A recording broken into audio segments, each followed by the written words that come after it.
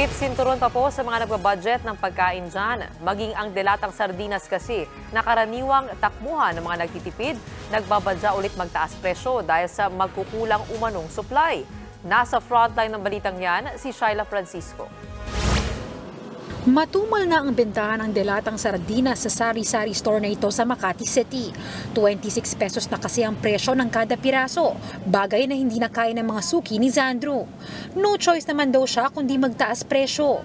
Nagtataka po ngayon ng mga suki namin kasi bakit daw nagtaas. Taas din po sa kinukuha na namin. Ngayong nagbabadyang tumaas ulit ang presyo ng canned sardines, hindi rin maiwasang mangamba ni Sandro na lalo siyang mawala ng customers.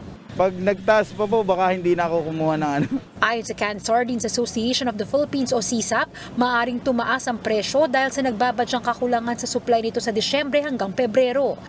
Yan pa ay kahit sa datos ng Bureau of Fisheries and Aquatic Resources, lumalabas na sobrang inaasahang supply kaysa sa demand ngayon ng isdang tamba na siyang pinoproseso para maging delatang sardinas. Pero giit ng CSAP, kailangan nilang mag-imbak ng supply para sa mga susunod pang buwan.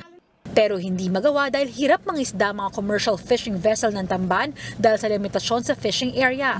Karamihan daw kasi ng tamban ngayon ay nasa municipal waters kung saan bawal silang mangisda alinsunod sa fisheries code. Sabayan pa yan ang tumataas na presyo ng ibang raw materials dahil sa paghina ng piso kontra dolyar. Inaangkat kasi ang gamit na lata pati na ang tomato paste. Nagkataon nga ngayon na yung yung dagat napakalawak outside municipal water walang masyadong tamban doon kasi nagmamigrate siya sa loob ng municipal water. Yung plankton kasi ngayon nasa municipal water. Ito yung pagkain ng isda. Iginiit naman ng BFAR na sapat ang supply ng tambat. Pinapayagan din daw ang ilang commercial fishing vessel na mga isda sa ilang bahagi ng municipal water. Sinasabi ng batas na pwede naman buksan ang 10.1 to 15 kilometers sa commercial fishing vessels, uh, subalit kailangang pumayag ang local government uh, units uh, subject to conditionalities, uh, dapat uh, makapagpalabas din ng ordinansa ang grupong pamalakaya rin kinontra ang pahayag ng SISAP. Anila ginagamit ang posibilidad ng taas presyo at kulang na supply para mamanipula ang batas sa pangingisda. Kapag din daw pinayagang makapasok ang mga malalaking fishing vessel sa municipal waters, baka raw bumagsak ang huli ng maliliit na mangingisda at magkaproblema sa supply sa pamilihan. Pero sagot ng SISAP, ang isda natin nasa municipal water. But remember, yung consumer ng isda, pati ang palengke, sinusuplayan.